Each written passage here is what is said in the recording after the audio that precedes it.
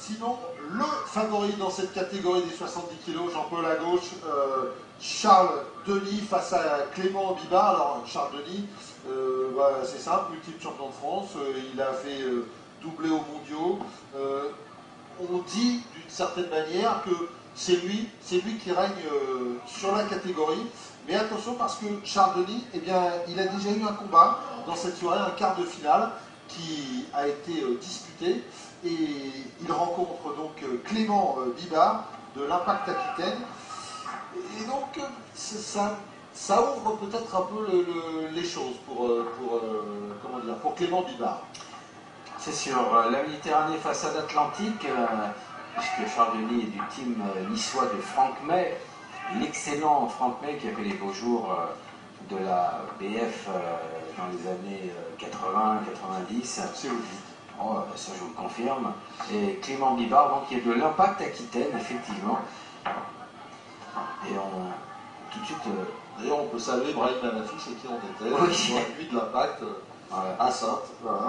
Alors, grosse différence de, taille hein, entre ah les deux hommes. Eh bien, Charles Denis, il a un peu, euh, dans les 70 kg, la même morphologie que Yanis Gousset dans les 60. 1m91 pour 70 kg, Charles Denis.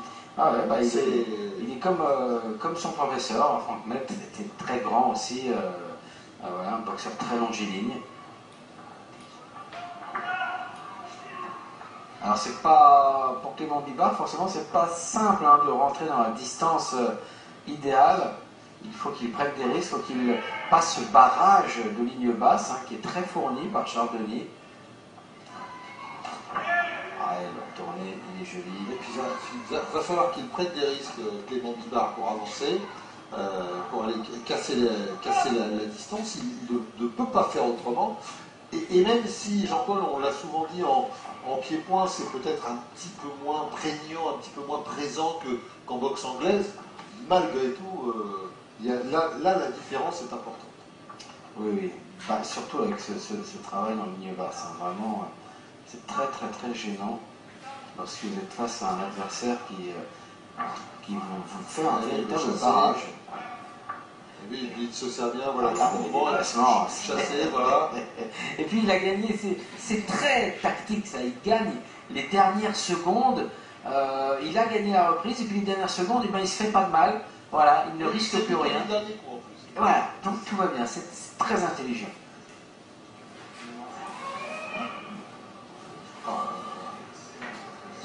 Chassé haut, vraiment était, de toute beauté.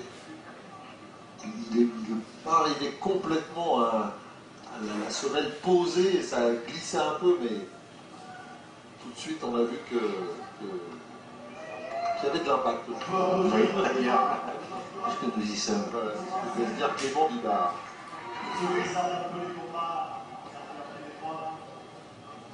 regardez, on sent, hein, il y a ce qui est intéressant, même si on n'a pas entendu ce que disait Clément, euh, on sent qu'il y a débat dans le coin. On cherche des solutions pour quelque chose qui est compliqué. Hein. C'est sûr. C'est sûr que c'est compliqué. La deuxième reprise, il faut maintenant que Chardonnay, de toute façon, fasse l'effort de rentrer. Alors pour cela, il faut qu'il utilise la science oh, contre le timing. Mais il y a une telle activité en face, ça, n'arrête pas. Hein. Euh, c'est deux coups à la seconde là, du côté de Denis. Alors évidemment, c'est pas simple. Et puis surtout, Jean-Paul, il a cette faculté, Denis, de sortir à chaque fois de, des échanges, parce que Clément Bibard est obligé d'avancer, et en fait, Charles Denis a la faculté de sortir des échanges à chaque fois avec ses jambes. On l'a vu là avec le, chassé euh, frontal, enfin médian, où il a repoussé son adversaire. Juste avant, c'était avec le fouetté en tournant autour de, son adversaire. Il a une palette énorme. Et c'est vrai que c'est très compliqué pour, euh, pour Clément Bibard d'aller chercher Charles Ouais, surtout qu'il fait partie de ces tireurs qui ont toujours euh, la faculté, même dans les, les, postures euh, les plus difficiles, de trouver les bons appuis pour utiliser toujours une jambe et la lancer là où ça va faire mal. Puis ah, là, cette science du déplacement le long des cordes. Non, non, là c'est très très au point. C'est une, c'est une boxe. Jean-Paul, il essaie, hein, Clément. Hein? Bah oui, il essaie et il y arrive quand même. Hein. Attention, hein.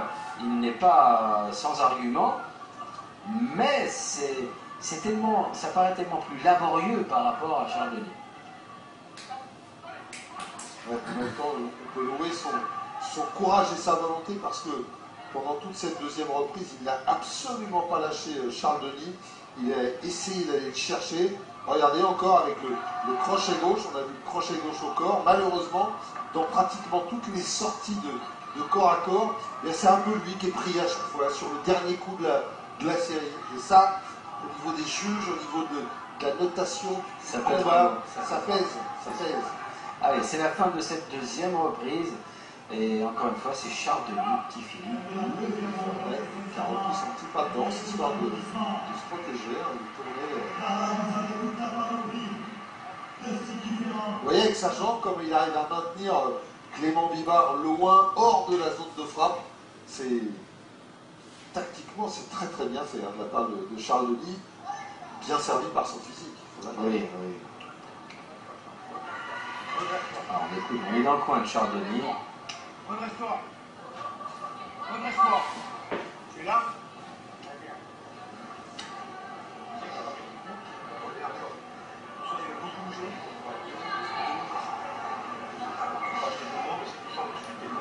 De déchets, Jean-Paul, heureusement, parce que les supercutes de Charles Denis, s'ils étaient passés.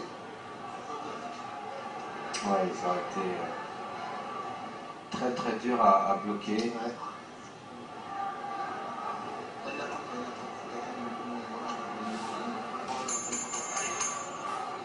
Simon Bibard, euh, on a l'air bien embêté quand même. Hein.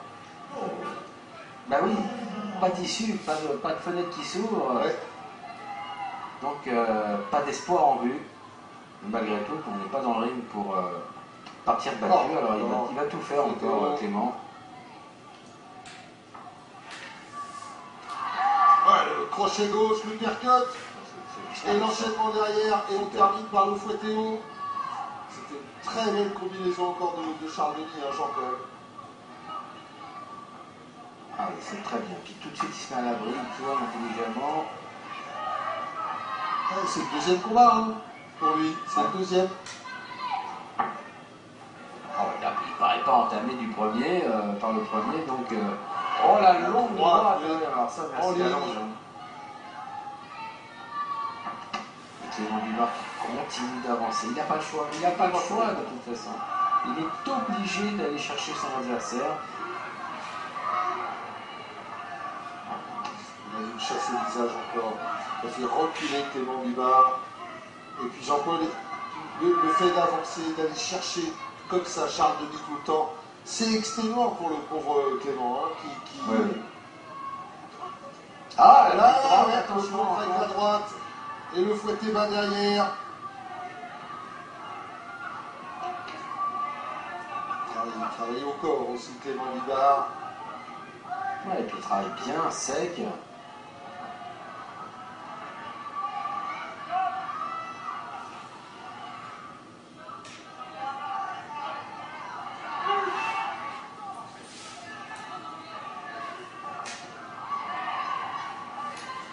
Ça met toujours bien les jambes du côté de Charles Denis. 10 secondes. Ah, il faut tout mettre là pour Clément Bibard. Il a encore contré avec la droite, on a vu, il a frappé en bas, mais il a ah. contré avec les. Ah. il essaye, hein, il aura essayé ah, jusqu'au bout, il a encore l'hypercut. Il tourne le dos, il prend des coups, c'est. Euh, non, non, il n'y arrive pas. Il essaye, mais il n'y arrive décidément pas, alors que c'est la fin. Ouais, avec le, débit, euh, malgré tout, de, de, Charles Denis. Hein. Merci, messieurs. Oh, vraiment. Euh, bah, Denis qui physiquement euh, il a du mal quand même, hein. parce, qu'il a subi l'offensive quasi permanente hein, de son adversaire, qui était obligé d'y aller. Donc euh, euh, il a fallu contrer avec de l'énergie et cette énergie, bah, elle ne sera pas là pour la finale. c'est sûr, et puis Jean-Paul, une heure entre chaque combat. Donc, soigner les robots, revenir se réchauffer pour être tout de suite dans le combat parce que 3 x 2, il était beau ce, ah, fouet haut là. Le contre avec le percut, les petits crochets. Ah, il a vraiment beaucoup de choses hein, pour lui. Euh, Charles Denis, voilà.